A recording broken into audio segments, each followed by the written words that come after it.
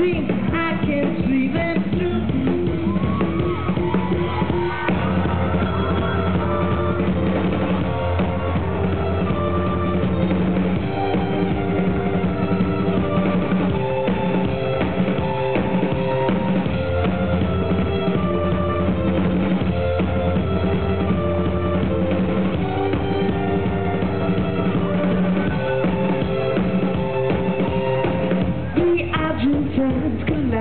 defeat.